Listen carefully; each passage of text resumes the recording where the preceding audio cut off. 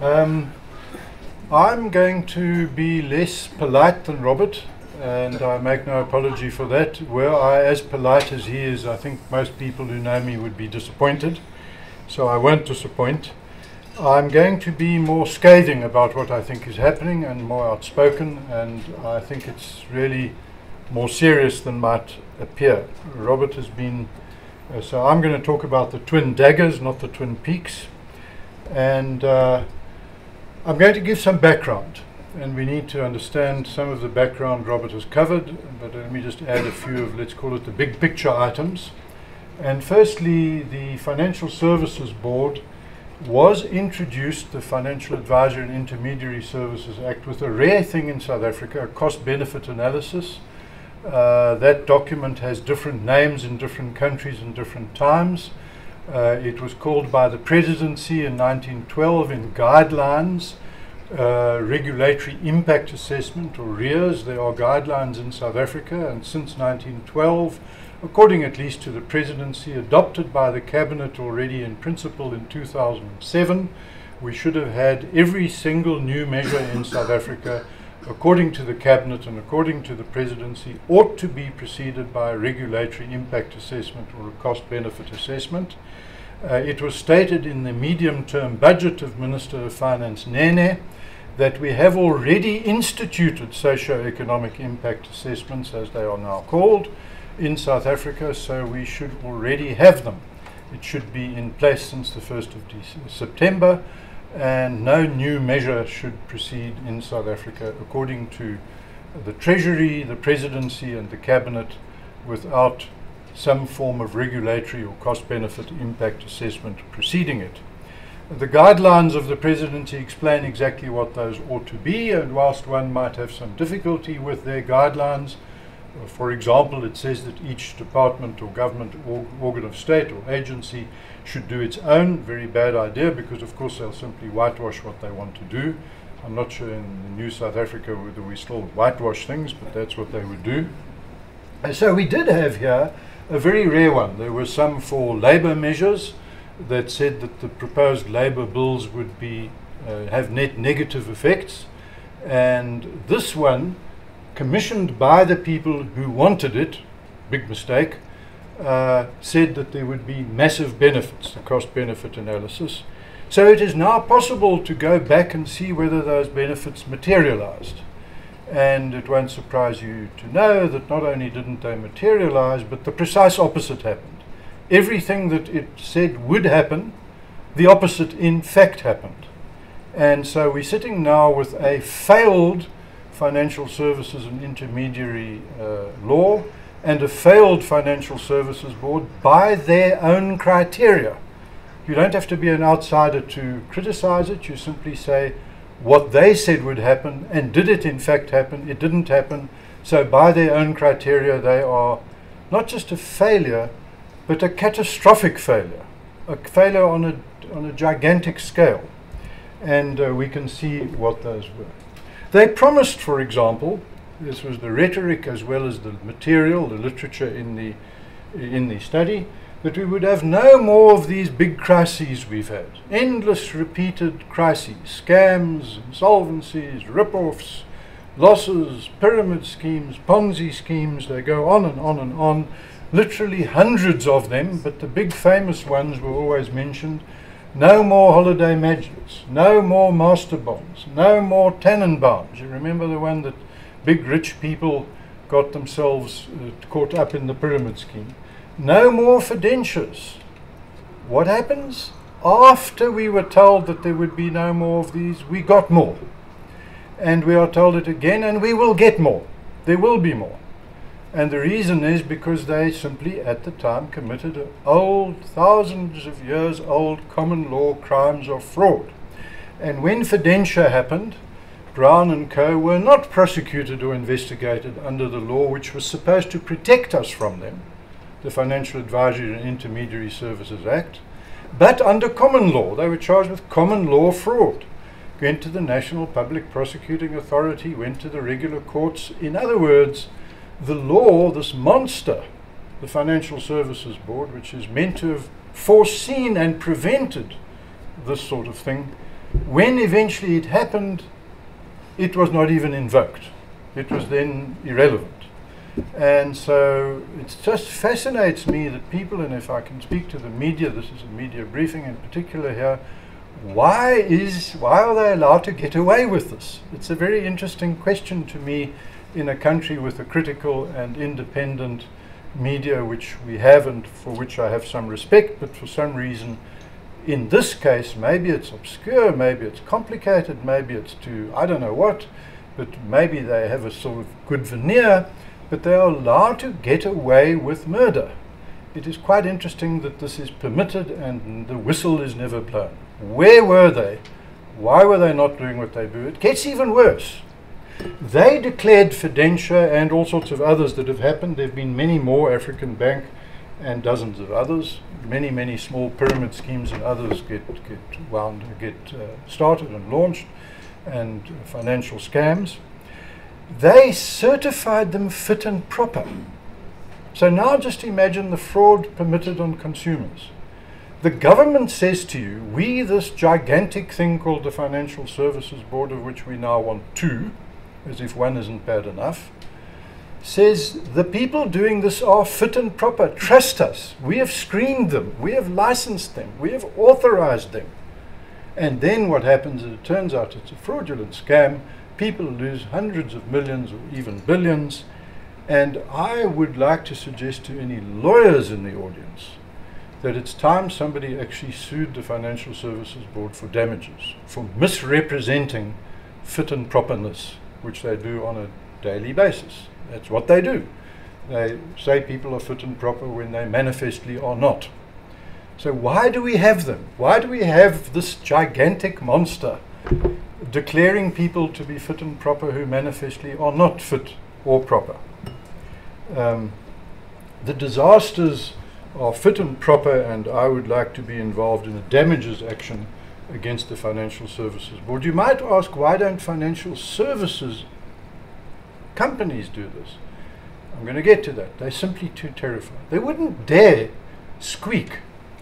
And we'll see, for example, in all of the submissions, thousands of pages of submissions on this proposed Financial Market Regulation Act, not one questions the principle. They're little technical details. This definition should be tweaked. This section doesn't really say what you mean. This section contradicts another.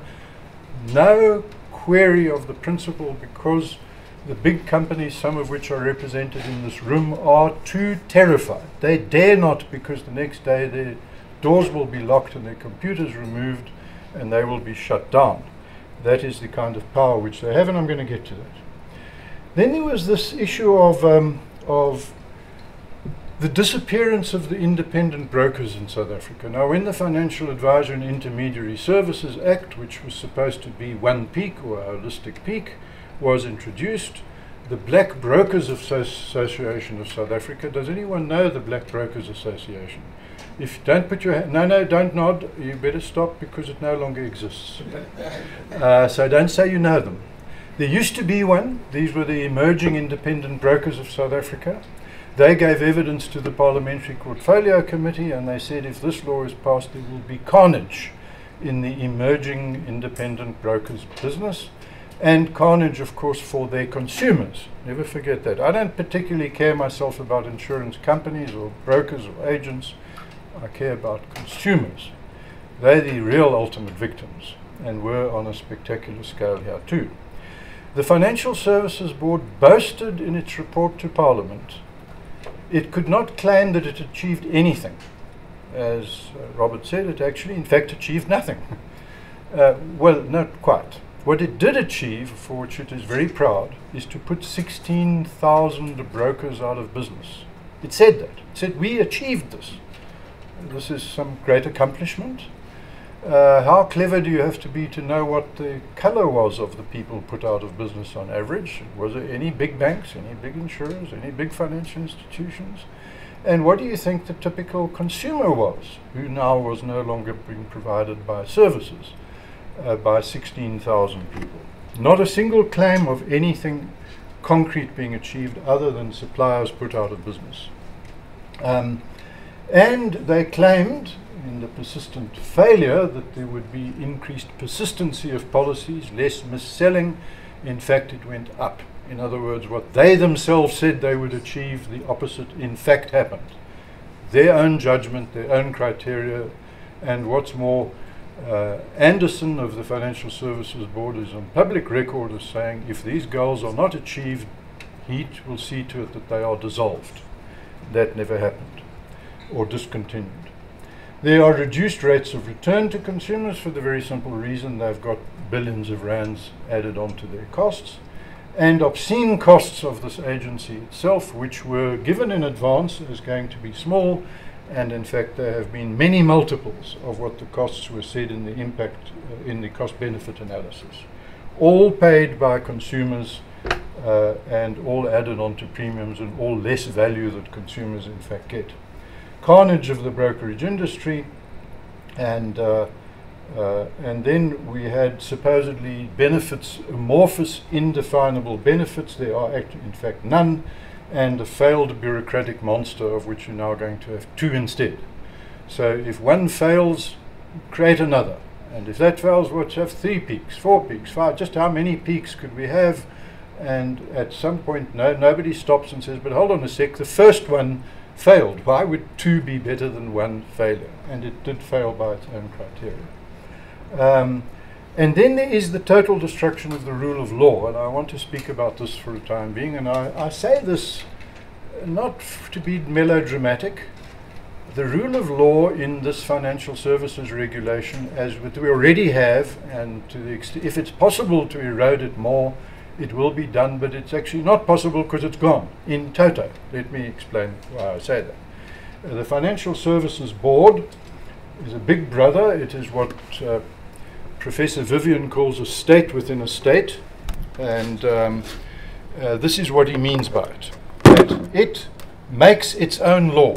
It now basically, through the laws it already has, more so with this, it, just, it already can make any financial service law it wishes, uh, but there is, it says a suite of new laws will come in that basically mandate these two peaks, currently one, uh, to make any law they like regarding financial services. In other words, Parliament is in fact redundant, and despite that, the uh, chair of the parliamentary committee is on record, I think yesterday or recently, I've just been told, to say they can't work through the volume of legislation before them, all of which basically just dis, dis, gets rid of, disposes of their own power to the regulator. In other words, laws will be made in Pretoria, not Cape Town. And that, of course, is a complete violation of the concept of the separation of powers, which is that legislation should be made by legislators, adjudication should be done by adjudicators or the judicial branch of government, and the executive branch should execute or implement. That has now fallen away, and we now have one agency, by the way, the Financial Services Board, you, um, the most informed people in South Africa regarding it are in this room, and I wonder how many of you know the name of one single person on that board. Certainly for South Africa as a whole, this is an anonymous, mysterious, faceless bunch of people who meet in smoke free rooms and make laws to the extent Parliament cannot make laws. Parliament cannot make laws the way they do. It has to go through legislative and statutory procedures, public uh, statements, interviews, uh, gathering information, three readings in Parliament, two Houses of Parliament, and so on. So it is uh, it, its sole legitimate function would be to implement law. It does very little of that. What it does is it polices the law. Uh, sorry, that should have been polices, not policies. That's a spell checking, changing things. Uh, prosecutes violations, so the National Prosecuting Authority is redundant. Adjudicates, it's the judiciary has been rendered redundant. It imposes fines, which they call penalties. Uh, that, and it keeps the fines, which makes the Treasury redundant, and it is therefore just a Every, all of the functions of government are now within this one amorphous, nameless, unknown, unaccountable, unelected, uh, mysterious group of people, and there'll be now two groups doing what one used to do, or what one currently does. So now I have a new word for you, word for the day, and uh, uh, in my weekly newspaper columns I play a little game. Some of you might not know this, but literary personality Gordon Forbes said to me when he reads my columns, he has to read, reach for his dictionary. And that's precisely what I wanted to achieve. I, I weasel in one word, which I think is a good word, which everyone should know, and which I presume they don't know. And uh, the word for today is iatrogenic. Now, if you don't know the word iatrogenic, you should. It comes from the Greek for uh, iatros, which means doctor, and genic cause. Iatrogenic is a term used in medicine and psychology for when the treatment causes the problem, when the treatment makes the patient worse. Uh, our financial services regulation, and particularly Twin Peaks, are iatrogenic. So when everyone, anyone says to you, "What do you think about Twin Peaks?" say it's iatrogenic, and uh, this is a hell of a good way to impress people at dinner parties. I promise you. Uh, but it is iatrogenic. It will have precisely the consequence of the remedy for an unknown problem, unquantified. There is no known problem. Uh, the Treasury said that the Financial Services Regulation Bill is a series of bills. Heaven knows what more, because they don't really need any more bills. They've already got all the power they want. And it's supposedly a response to the financial crisis. Whoever wrote that, I mean, Robert had his version of somebody who wrote something, couldn't have known what they were talking about. Well, this is something somebody didn't know what they were talking about. There is nothing at all in what people call the financial crisis it, as if it was singular. Uh, there were, in fact, two. There was the American subprime derivative crisis, which is a banking crisis, and the Southern European or Mediterranean European crisis, which is a sovereign debt crisis. The second one is governments not being able to recover the money and going into debt. So it's got nothing to do with the market, nothing to do with financial regulation. It's simply government overspending, the Greek crisis and the Spanish crisis and so on. And the banking, the subprime derivative, derivative crisis, is a crisis caused by Freddie and Fannie, which are government sponsored enterprises or what we might call parastatals, which promoted subprime mortgages, which we would call not creditworthy and it bundled these into derivatives and sold them all around the world, pretending that the US Treasury would underwrite them or back them. And this caused all, caused of people like our old mutual to invest many billions and trillions into these derivatives, uh, sponsored and promoted and launched and, for practical purposes, created by the government. And none of it had anything whatsoever to do with insurance and nothing had had anything whatsoever to do with the proposals in Twin Peaks regulation at all. So not only was there no such thing as the crisis, it was a confined to crises, confined to people who had subprime derivatives and confined to a few European countries. It was not a global crisis. Global growth rates didn't decline. In fact, African growth rates rose at the time and continue to rise. And I see Chris Hart in the audience over there, top South African economist. When I looked at the World Bank data for 2008 2009, I couldn't see where the crisis was. Most countries had rising growth rates, and a few countries had flattened growth rates. Something like half a dozen had about a quarter or a year of contraction, uh, very, very small. And I phoned him and I said, There's something wrong with the World Bank data. Where was the crisis? And he said to me, You're quite right.